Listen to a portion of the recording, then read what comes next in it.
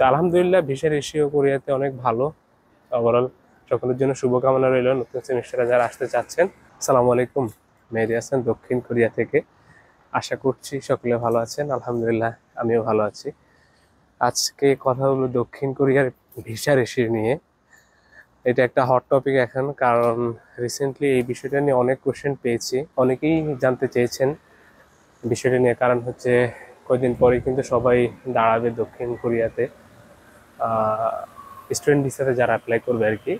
So সবারই question যে ভিসার ইস্যুটা কেমন? আর এই বিষয়টা জানার পিছনে একটা কারণ আছে। তো জিজ্ঞাসা করে যে ভিসার ইস্যু যদি ভালো হয়, সেই ক্ষেত্রে অ্যাপ্লাই করে করলে তার নিজের জন্য বা ভালো আর কি সব দিক মিলিয়ে। তো আসলে ভিসা রেশিও বলে কোনো কথা আমি ওভাবে মানে পার্সেন্টেজ আমি বলতে পারব না যে eighty percent ninety percent ninety five percent এরকম কথা আমি আসলে বলতে পারব না বাট আমি এটা বলতে পারি যে আলহামদুলিল্লাহ ভিসা রেশিও অন্য অন্য দেশের তুলনায় অনেক ভালো। যদি আমি কম্পেয়ার কম্পেয়ার করি ইউএসএ কানাডা বা ইউরোপের অনেক দেশের সাথে কম্পেয়ার করি, তাহলে আমি বলব যে দক্ষিণ কোরিয়ার ভিসা রেশিও এখন পর্যন্ত আলহামদুলিল্লাহ অনেক ভালো। প্রতি বছর অনেক স্টুডেন্ট আসতেছে। সো আগে যখন স্টুডেন্ট কম ছিল, তখন কিন্তু রিজেক্টটা কম হইতো। এখন স্টুডেন্ট বাড়ছে। রিজেক্টও বেশি হচ্ছে ভিসাও বেশি হচ্ছে। সো অনেকেই বলবে যে এখন ভিসা রেশিও কম, আগে বেশি ছিল। তো আগে তো ধরেন দাঁড়াইতো হচ্ছে একশো জন, দেখা যাইতো নব্বই, পঁচানব্বই জন বা আটানব্বই জন ভিসা পাইতো। বাট এখন হচ্ছে যে আপনার দাঁড়ায় হচ্ছে পাঁচশো, ছয়শো, সাতশো, এক হাজার স্টুডেন্ট দাঁড়ায়। তো সেই ক্ষেত্রে তো আপনি ওইভাবে পার্সেন্টেজ বের করাটা একটু ডিফিকাল্ট হয়ে পড়ে আর কি। তো ভিসা রেশিওটার সাথে আসলে আমি একটা কথা সবসময় বলি, যাদের সাথে অনেকের সাথে ফোনে কথা হয় আসলে ভাই ভিসা রেশিওটা বড় ফ্যাক্টর না। ধরেন নিরানব্বই পার্সেন্ট ভিসা রেশিও নিরানব্বই জন ভিসা পায় একশো জনের ভিতরে। তো আপনি দাঁড়ালেন, আপনি একজন ভিসা পাইলেন না বাকি নিরানব্বই জন ভিসা পাইলো। তাহলে কিন্তু আলটিমেটলি আপনার কোনো লাভ নেই। আবার অনুরূপভাবে ভিসা রেশিও হচ্ছে ten percent visa ratio but আপনি দাঁড়াইলেন, আপনি সহ আরও নয় জন, মোট দশজন আপনারা ভিসা পেলেন, বাকি নব্বই জন পাইলেন না, ওইটা আপনার জন্য লাভ। সো ভিসা রেশিওটার দিকে না তাকিয়ে আমি মনে করি আপনি নিজের ডকুমেন্টসগুলো ভালোভাবে প্রিপেয়ার করুন, যাতে অন্তত অ্যাম্বাসেডার আপনার ডকুমেন্ট থেকে সন্তুষ্ট হয় এবং আপনাকে সে ভিসা দেয়। তো সেই ক্ষেত্রে আপনি কি করবেন? হ্যাঁ তো সেই ক্ষেত্রে আমি বলব, আপনার ডকুমেন্টসগুলো ভালোভাবে প্রিপেয়ার করবেন।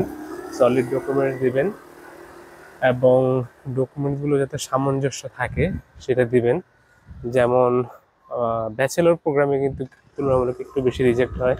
সেটার কারণ যে অনেকের তিন বছর, চার বছর স্টাডি গ্যাপ থাকে। তা আমি বলব যে সকল ভাইরা ব্যাচেলরে আসতে চান। আপনাদের যদি স্টাডি গ্যাপ হয়ে থাকে, তাহলে আপনি এই এইচএসসির পরে সময়গুলোতে আপনি কি করেছেন? হ্যাঁ আপনি যদি কোনো ইউনিভার্সিটিতে ভর্তি হয়ে থাকেন তাহলে সেখানকার এনরোলমেন্ট সার্টিফিকেট আপনি দিতে পারেন যে আমি এইটা একটা করেছি। এখানে আমি ভর্তি ছিলাম এনরোল আছে এখনও পড়ালেখা করতেছি। সেক্ষেত্রে এটা একটু আপনাকে ভালো একটা বেনিফিট দেবে আর কি।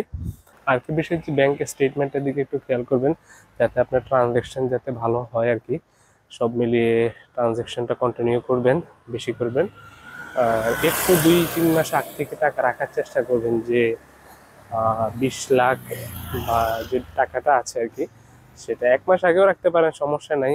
বা অনেকে দেখা যায় যে এক দুই সপ্তাহ আগে রেখেও, আগে ট্রানজ্যাকশন করছে বেশি, পরে এক দুই সপ্তাহ আগে রেখেও কিন্তু ভিসা পাইছে।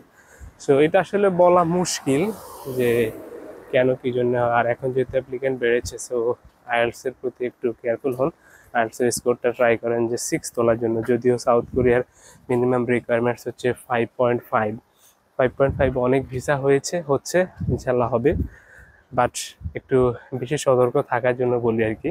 তো আলহামদুলিল্লাহ, ভিসা রেশিও কোরিয়াতে অনেক ভালো। ওভারঅল সকলের জন্য শুভকামনা রইল নতুন সেমিস্টারে যারা আসতে চাচ্ছেন। আর যারা আগামী আসবেন পরবর্তীতে, তাদের জন্য শুভকামনা রইল। আপনারা আরও বেশি সময় পাবেন। সো এখন থেকে নিজেকে প্রিপেয়ার করে তুলুন আজ এই পর্যন্ত ভালো থাকবেন, সুস্থ থাকবেন। আমার জন্য দোয়া করবেন। আসসালামু আলাইকুম।